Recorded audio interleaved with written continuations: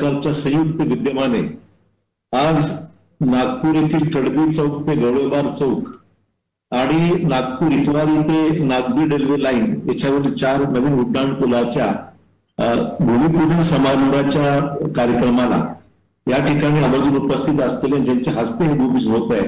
सन्मान्य केंद्रीय मंत्री नितीन गडकरीजी सन्मान्य मुख्यमंत्री उद्धव ठाकरेजी पालकमंत्री नितीन राऊतजी सुनील केदारजी महापौर तिवारीजी श्री विकास महात्मेजी श्री कृपाल तुमानेजी या महारेलचे व्यवस्थापिक संचालक राजेश कुमार जयस्वालजी आणि सर्व मान्यवर विधानसभा विधान परिषद सन्मान सदस्य अधिकारी उपस्थित बंधू भगिनी आणि सहकारी मित्रांनो.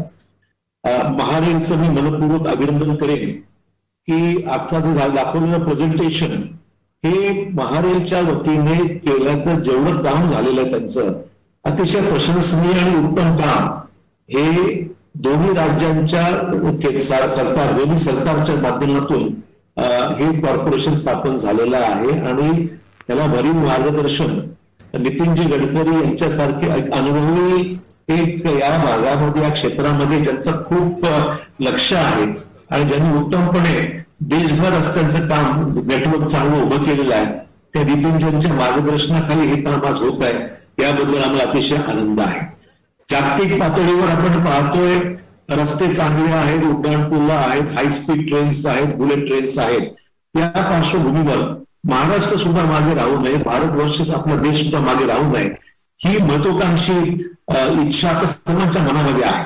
आणि महारेल या स्वप्नांची पूर्तता करण्याच्या बाबतीमध्ये त्यांनी दाखवून दिलंय कशा पद्धतीने?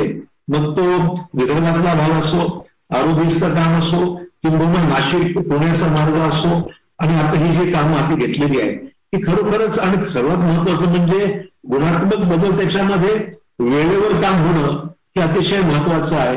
आणि या दोन्ही कामामध्ये महारेलनी आपली निश्चितच गती कायम ठेवून चांगल्या दर्जाची कामं ही केलेली आहे सन्मान्य मुख्यमंत्र्यांनी जो उल्लेख केला आज आव्हानात्मक परिस्थिती आपल्यासमोर आहे. नैसर्गिक फार मोठी आपत्ती ही महाराष्ट्रावर कोसळलेली आहे. पाऊस अजूनही काही भागात सुरू आहे. आणि म्हणून आता जी पडझड झालेली आहे रस्ते वाहून गेले पुलं वाहून गेलेले आहेत. काही राष्ट्रीय महामार्गावरचे आहेत काही राज्य महामार्गावरचे आहेत काही ग्रामीण महामार्ग रस्त्याची फार दुरावस्था झालेली आहे. आणि म्हणून ते युद्ध पातळीवर ही सर्व आपले जे काही इन्फ्रास्ट्रक्चर आहे की पुन्हा आणण्याच्या बाबतीमध्ये आपल्याला खूप मोठ्या प्रमाणावर तातडीने लक्ष आम्ही घालत आहोत. मला खात्री आहे आणि मी अपेक्षा आहे की नितीन भाऊंच्या मदतीने आणि राज्य शासनाच्या सहकार्यातून संपूर्ण राज्यामध्ये जे ज्या ठिकाणी नुकसान झाले आहे त्या ठिकाणी तातडीने आपण पावलं उचलूया.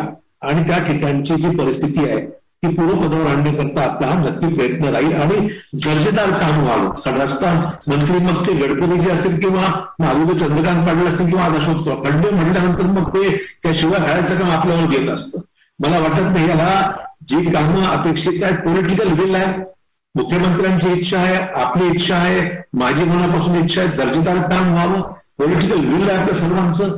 हे करत असताना चांगली कामं आपली प्रशासकीय यंत्रणा अतिशय उत्तम आहेत चांगले अधिकारी आपल्याकडे आहेत पण चांगले कॉन्ट्रॅक्टर्स हे जर एकंदरीत व्यवस्थितपणे घडी जर बसली तर मला खात्री आहे की महाराष्ट्रातले किंवा मुंबईत सुद्धा रस्त्यावर खड्ड्याचा जो विषय उल्लेख झाला तो वारंवार बोलण्याची गरज पडणार नाही अशा चांगल्या आपल्याला पद्धतीने काम करावं लागेल.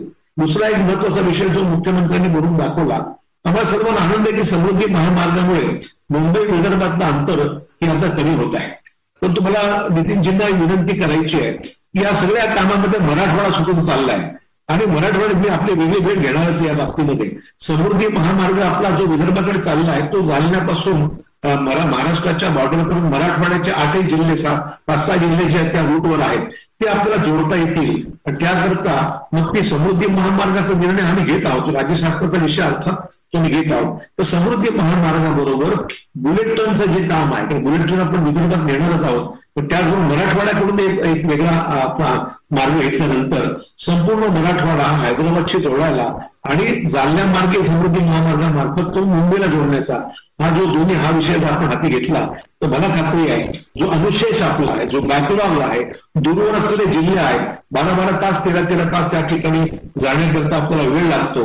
आणि म्हणून हा सगळा अनुशय दूर करण्याच्या बाबतीमध्ये निश्चितच फार मोठं काम आपल्याला आगामी काळामध्ये निश्चित करता येणार आहे.